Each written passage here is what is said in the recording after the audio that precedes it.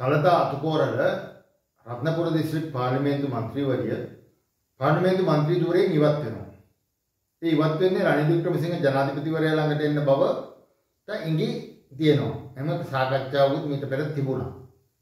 ඒත් එක්ක තව විශාල මන්ත්‍රීවරු පිරිසක් සමගි ජන බලවේගයෙන් රනිල් වික්‍රමසිංහ ජනාධිපතිවරයාගේ ඔඩොක්කුවට එන බවට කතා බහකුත් තියෙනවා. ඒවා තව විවිධ මට්ටමේ තියෙන සාකච්ඡා අපි අර හැමදාම කිව්වා වගේ මේ අය පක්ෂය මාරු කරලා රනිල් වික්‍රමසිංහ ජනාධිපතිවරයා ගාවට එන්නේ ආවට ගියාට නෙවෙයි. ඊළඟ මහමැතිවරණයේදී ඒගොල්ලන්ගේ පාර්ලිමේන්තු අසුන ඒගොල්ලන්ට අයිති වෙනවද නැද්ද කියන ගණන් හදිල්ලත් එක්ක. අපි දැන් කිව්වා රනිල් වික්‍රමසිංහ ළඟටම එන්න හිතාගෙන සජිත් ප්‍රේමදාසව විවේචනය කරපු පාර්ටි චම්පික රණවක පවා නැවත සජිත් ප්‍රේමදාසගේ ඔඩොක්කුවට ගිය හේතුව. අපි කියලා තියෙනවා. ඒ වුණේ ඔහුගේ ඊළඟ මන්ත්‍රී ධූරය පිළිබඳව තියෙන සැක සංකාව එක්ක. හැබැයි මේ සාකච්ඡා මොන මට්ටමින් තිබුණත් මේ පක්ෂමාරු කිරීම කොහොම කෙරුණා එක කතාවක් කියන්න ඕන ඒ තමයි දැන් සමිජන බලවේගයේ වේදිකාවේ මේ පක්ෂේ මාරු කරලා රනිල් වික්‍රමසිංහ ජනාධිපතිවරයා ගාවට එන අයට විශාල චෝදනාවක් කියනවා. බාර් පර්මිට් වලට තමයි පක්ෂේ මාරු කරන්නේ කෝටි ගණන් මුදල් වලට තමයි පක්ෂේ මාරු කරන්න කියලා කතාවක් තියෙනවා. හැබැයි මේ බාර් පර්මිට් කතාව මීට මාස ගානකින් තිබුණා. තිබිලා ඒ බාර් පර්මිට් ගත්තා කියන අයගේ නන් ලයිස්ට්කුත් කියලා තිබුණා. දැන් ඔකේ දිනුම් දිනුම් මමුණකම ගැන දයාසිරි වේදිකාවක කිව්වා දිනුම් මමුණකම කිව්වා මම ඒකට විරුද්ධව නඩු දානවා කියලා. හේතුව මම බාර් පර්මිට් අරගෙන නැහැ කියලා. එහෙම ඒවත් තියෙනවා.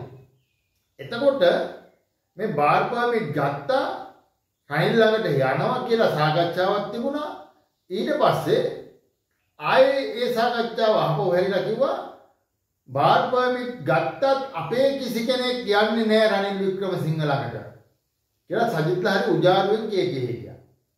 ඊට කලින් සජිත් කිව්වා කවුරු බාර් පර්මිට් අරගෙන පක්ෂ මාරු කරපත් කරත් මම ජනාධිපති වුණාට පස්සේ ඔය සියලු බාර් පර්මිට් කැන්සල් කරනවා කියලා කිව්වා. දැන් ඊට පස්සේ තමයි සජිත් කිව්වේ කවුරුවත් බාර් පර්මිට් ගත්තට අපේ කවුරුත් යන්නේ නෑ. එතකොට විමධ්‍යගත මුදල් දුන්නට අපේ කවුරුත් යන්නේ නැහැ කියලා උජාරුවට කිය කිය හිටියා. ඊට පස්සේ ආයෙත් සජිත්ගේ වේදිකාවෙන් කියන්න ගත්තා අපේ කට්ටිය ඔක්කොම රනිල්ව රැවට්ටුවා. ඒගොල්ලෝ විමධ්‍යගත අරමුදල් වලින් සල්ලි ගත්තා. ඊට පස්සේ බාපමිත් ගත්තා. රනිල්ට කොකා පෙන්නලා රනිල්ව ගොනාට අන්දලා ඒගොල්ලෝ ඉන්නවා. ඒක මරු රනිල්ව ගොනාට අන්දපු කෙනා ෂෝක් කියලා හිටියා. ඊට පස්සේ ඊයේ තලතා පක්ෂ මාරු කරා ඊට කලින් ওই වේලු කුමාරලා වගේ අය මාරු කරා මෙහෙම වුණාම දැන් ආයේ කියන්න පටන් අරගෙන මෙන්න සල්ලි වලට මෙන්න බාපමික් වලට යනවා කියලා. එඳ එක ප්‍රතිපත්තියක්. එක කාරණාවක් සම්බන්ධ එකම කාරණාවක් සම්බන්ධයෙන් කරුණු කීයක් තමන්ගේ උත්තර කීයක් බැඳලා තියෙනවද සජිත්ගේ පැත්තේ?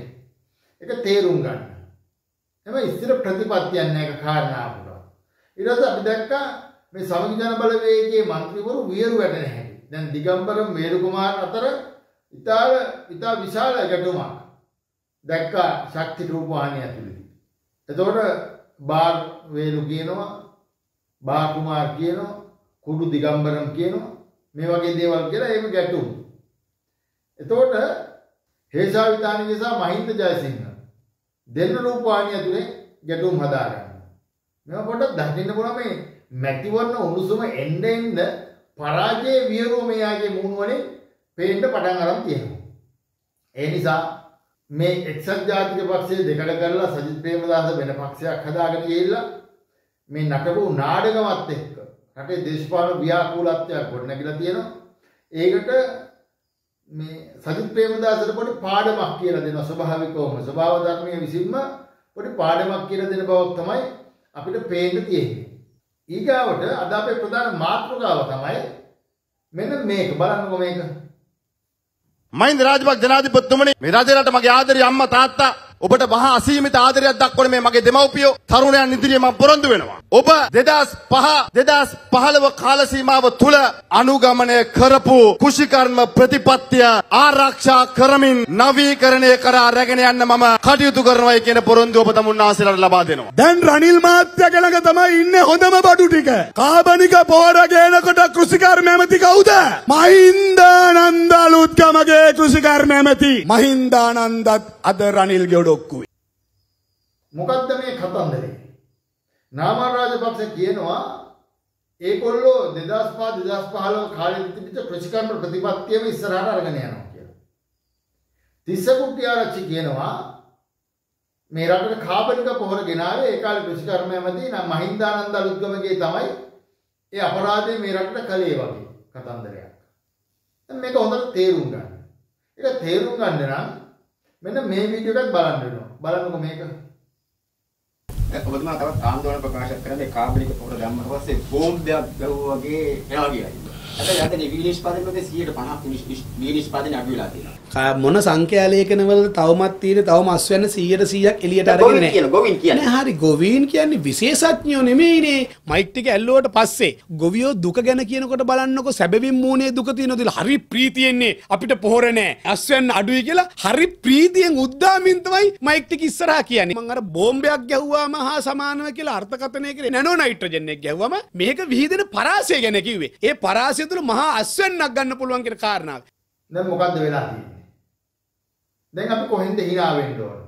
නාමල් රාජපක්ෂ හිටපු ආණ්ඩුවක එයාගේ බාප්පා ජනාධිපති අනිත් බාප්පා මුදල් ඇමති එයාගේ අප්පච්චි අගමැති ලොකු අප්පච්චිත් ඇමති කෙනෙක් ලොකු අප්පච්චිගේ පුතා රාජ්‍ය ඇමති කෘෂිකර්ම නාමල් රාජපක්ෂ ඇමති.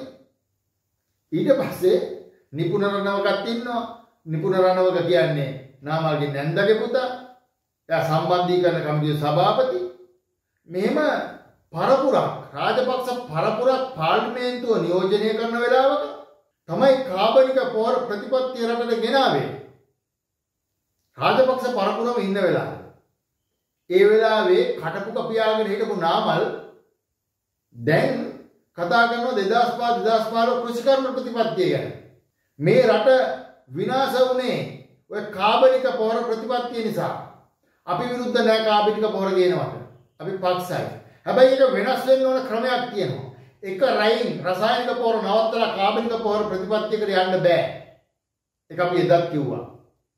හැබැයි තමන්ගේ බාප්පොච්චි ජනාධිපති වෙලා ඒ තීන්දුව ගන්නවා. ගන්නකොට නාමල් කොහෙද හිටියේ රට වැටෙනකම් තම පාක්ෂිකව බේරෙවේ නානකම් මන්ත්‍රීවරුන්ගේ ගෙවල් ගිනි තියනකම් සහෝදර මන්ත්‍රීවරයෙක් මහපාරේ ගහලා මරණකම් කොහෙද මේගොල්ලෝ හිටියේ? ඔය කයිය ගහන වීරයෝ ඔක්කොම හැංගිලා මේ රටේ පොහොට්ටුවේ පාක්ෂිකය අසරණ කරා. පොහොට්ටුවේ පාක්ෂිකයින්ට ගල් පාරක් හරි ගැහුවා ගමේ මිනිස්සු මතක තියාගන්න ඕනේ ඒක. එතකොට මහින්දලා ආරක්ෂා වෙනවා ගෝඨාභයලා ආරක්ෂා වෙනවා බැසිල්ලා නාමල්ලා ආරක්ෂා වෙනවා. ඒ අය ඔක්කොම රැකිලා. මට අමතක වුණා දැන් මහින්දගේ උපදේශක තනතුරකුත් ප- පත් වෙනවා නාමල්ගේ මල්ලි. එහෙම ඔක්කොම රාජපක්ෂලා හිටියේ මේ කාලේ. එකෙක් කතා කරේ නෑ කාබනික පොහොර ප්‍රතිපත්තිය වැරදි කියලා. මේ රටේ නිෂ්පාදනය කෘෂි නිෂ්පාදනය අපේ ලංකාවේ ප්‍රධාන නිෂ්පාදනයේ කෘෂිකර්මාන්තය ඒක සමස්තයෙන්ම කඩාගෙන වැටෙනවා. ඒ කඩාගෙන වැටලා තමයි ඒ අර්බුදේ එන්නේ ඒ අර්බුදය ආවට පස්සේ මේ අප්පොච්චිලා ටික හැංගිලා ගියා රටම අරාජික කරලා. එක වචනයක් කතා කරේ නෑ ඔය කෘෂිකර්ම ප්‍රතිපත්තිය ගැන. දැන් නාමල් කියනවා මේ ඒගොල්ලෝ 2015 කලින් කෘෂිකර්ම ප්‍රතිපත්තියට යනවලු. 2015 එහා කෘෂිකර්ම ප්‍රතිපත්තියට යන්න කලින් උඹලට ආණ්ඩුවක් දුන්නා මේ රටේ මිනිස්සු 69 ලක්ෂයක් ඡන්ද දීලා. එදා කියන්න තිබුණා නුඹේ බාප්පොච්චිට ඔය කෘෂිකර්ම ප්‍රතිපත්තිය කාබනික ප්‍රතිපත්තිය වැරදි. මේ 2015ට කලින් තිබිච්ච ප්‍රතිපත්තිය යමන් කියලා. උඹේ බාප්පොච්චිනේ මුදල් නැමැති කියන්න තිබුණා. උඹේ අප්පොච්චිනේ අගමැති කියන්න තිබුණා. එකෙක්කට ඇරියේ නැහැ. ඊළඟට ඔය කාබනික පොහොර ලංකාවට ගේන කොන්ත්‍රාත්තුව කරේ මහින්දානන්ද අලුත්ගමගේම කියනවා යා කෘෂිකර්ම ඇමති වුණාට රාජ්‍ය ඇමති ශෂීන්ද්‍ර රාජපක්ෂ හරහා තමයි මේ වැඩේ උනේ කියලා. මහින්දානන්ද කිව්වා. දැන් මහින්දානන්ද වැරදිකාරයෙක් කරන්න තිස්ස කුට්ටි කතා කරනවා. හරියට මහින්දානන්දගේ වමනාවට තමයි කාබනික පොර ගෙනාවේ. අසූචි පොර නැව් ගෙනාවේ මහින්දානන්දගේ වමනාවට වගේ. හැබැයි එදා ගෝඨාභය ගත්ත තීන්දුවට පස්සව තිස්ස කුට්ටි කතා කරපු විදිහ අපි ඔයගොල්ලන් පෙන්නපු වීඩියෝ එකේ දැක්කා. එතකොට මොනවද මේ කතා කරන්නේ? තමන්ගේම ජනාධිපතිලා අගමැතිලා ඇමතිලා එකතු වෙලා ප්‍රතිපත්තියක් හදලා ඒ ප්‍රතිපත්තිය ක්‍රියාත්මක කරලා රටට කෙලවුණාට පස්සේ අර ඇමතිකමේ හිටපු මහින්දානන්දව අල්ලගෙන. මම මේ මහින්දානන්දට සුදු හුරු ගන්නවා නෙවෙයි. මේ කතාවේදී මහින්දානන්ද නිර්දෝෂී. දැන් තමන්ගේ වැරදි දේවල් ඔක්කොම කරලා පක්ෂේ දාලා ගියාට පස්සේ තමයි මුන්ගේ වැරදි වෙන්නේ. ඉතින් තවදුරටත් අපි කියන පොහොට්ටුවේ සමාජිකයින්ගේ මේ වගේ තක්කඩියත් එක්ක මේ රාජපක්ෂන්ගේ වහල්ලුත් එක්ක මේ රට පාවලා දෙනවද නැද්ද කියන එක ඔබ තීරණය කරන්න ඕන. CCTV කෝපි එක්ක අයිස්ක්‍රීම්